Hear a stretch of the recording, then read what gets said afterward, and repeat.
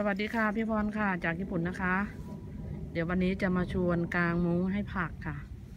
เดี๋ยวเราไปดูกันเลยนะ ว่ามีอะไรมั่ง อันแรกก็ผ้าเน็ตตะข่ายที่เราจะทำการกาง แล้วก็เหล็กสีเขียวโค้งๆตัวนี้ตัวนี้ค่ะ แล้วก็เหล็กตัวนี้เหล็กเป็นรูปตัวยูเราจะไว้กัด มุมด้านหัวกับด้านท้ายของตัวมุ้งแล้วก็ที่ขาดไม่ได้คือจอบ จอบจอบที่เราจะเอาไว้เอาเอาดินมากบข้างๆค่ะ โอเคเราไปทำกันเลยนะ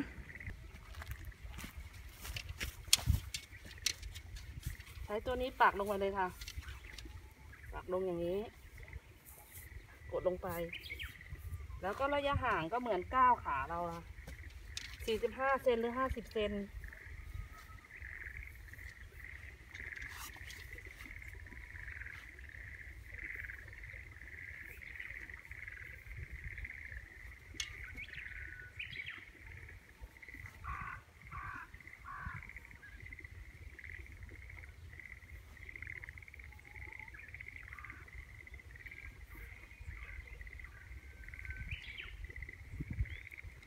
นี้จะทำออกมาไม่ให้มุ้งใบชิดกับผัก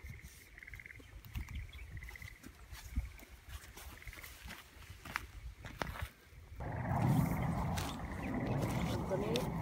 ด้านนี้ก็ทำเหมือนกัน ก็จะทำเด็กแบบมาไขว้กลัวมุ้งไปชิด เสร็จแล้วเราก็เอาผ้าไปไว้ข้างๆจะขึ้นง่ายกว่า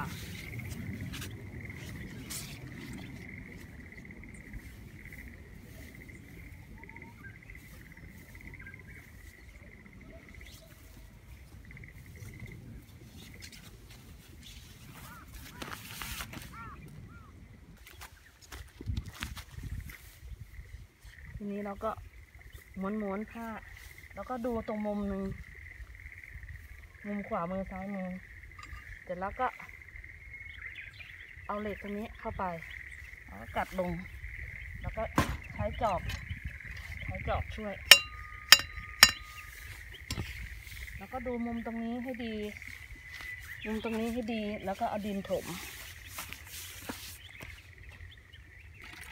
ส่วนมุมด้านหลังพี่ก็กัดเหมือนกัน แต่ว่าเน็ตจะยาวนิดนึงไม่เป็นไร ก็ปรับแต่งเอา เอาไว้ด้านนี้ ด้านหน้าก็จะสั้นนิดนึง ก็พอดีกับมุม แล้วพี่ก็ใช้จอบลงปกติ ทีนี้เราก็ไปดูข้างๆ ถ้าโอเคเราก็กบดินค่ะ มาดูด้านข้างเสร็จเรียบร้อยแล้ว เราก็ถมดินเลยค่ะ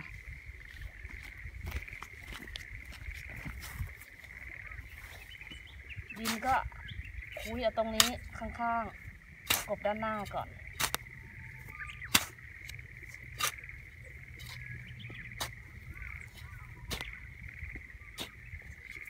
บางคนถามว่ากลางมุ้งมันร้อยเปอร์เซ็นต์ไหม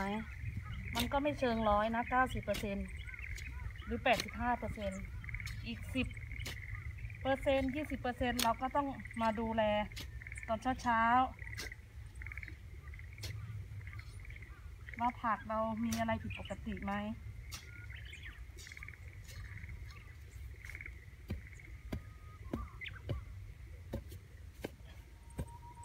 ส่วนด้านโน้นจะแคบนิดนึง พอดีเสียดายพื้นที่ เดี๋ยวก็จะเอาดินแถวนี้แหละไปกบก็เดินไปนิดนึง จริงๆ ด้านข้างตรงนี้แนะนำให้ให้ไว้ช่องทางเดินดีที่สุด แต่เผอิญพี่จะลงพริกด้วย ก็เลยมาปลูกผักก่อนไม่ปรับเอา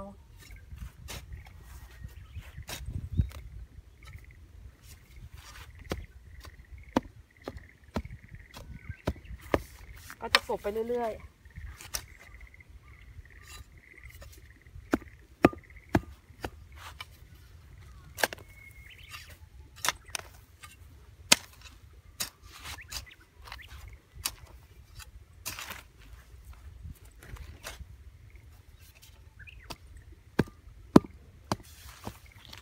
เคหัวมุมด้านนี้เสร็จแล้ว เดี๋ยวไปด้านโน้น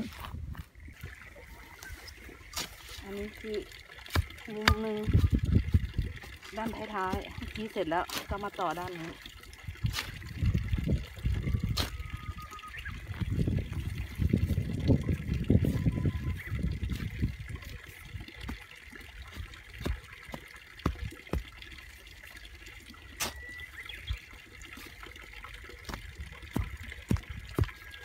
ก็ เช็คดูด้านด้านข้าง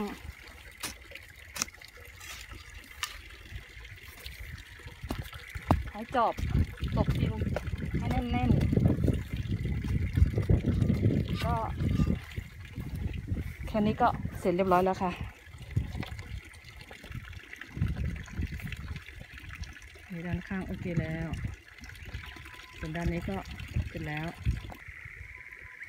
ตอนนี้ผัก คณะก็ไปอยู่ในมุ้งเรียบร้อยแล้วค่ะ ส่วนช่องทางเดินตรงนี้แนะนำให้ไว้กว้างๆหน่อยนะคะ อาจจะ 30ถึง40 เซนดีสุด เวลาเราตักดินมันจะสะดวกเราไม่ต้องไปขนที่อื่น ส่วนมุมตรงนี้ที่พี่เอาเหล็กมาควยเวลาเวลาพี่ทำเสร็จแล้วตัวตัวนี้มันจะไปโดนของอตัวผัก มันจะไม่ค่อยดี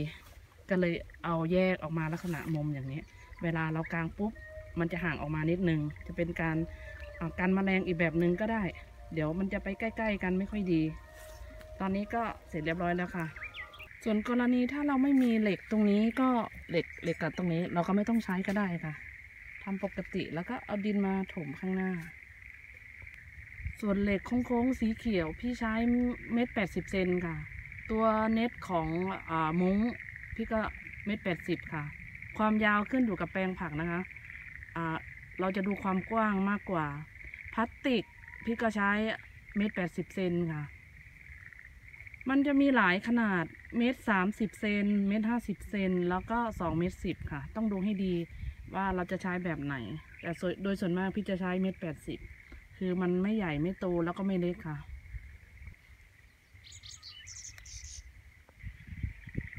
อันนี้ก็เป็นแปลงผักคะน้าอีกแปลงหนึ่งค่ะ ก็จะทำแบบเดียวกันนั่นแหละ แต่ทีนี้มันมีปัญหาเรื่องของความยาวของผ้าเน็ตนิดนึง ผ้ามุ้งกำลังเลือกอยู่ค่ะ ตอนนี้ก็ได้แล้วค่ะ เหลือแต่ถมดินเข้าไป ส่วนข้างหน้ามุมเนี่ย ของพี่พอดีความยาวไม่ถึง พี่ก็เลยไม่ทำเอาเหล็กมาชิดกันแล้วตั้งฉาก ถ้าตั้งปุ๊บความยาวมันไม่ถึงแล้วมันหลุด พี่ก็เลยแก้แบบนี้ คือพี่จะวางขาเหล็กน่ะ ให้ห่างจากต้นกล้าผักนิดนึงค่ะ แล้วก็เอาเหล็กโค้งตัวยูเมื่อกี้เนี่ยกัดลงไป แต่ถ้าเราไม่มีก็ไม่เป็นไรก็ถมดินปกติได้ค่ะ ตอนนี้พี่ก็กางมุ้งให้ผักคะน้าเสร็จเรียบร้อยแล้วค่ะ ขอบคุณค่ะ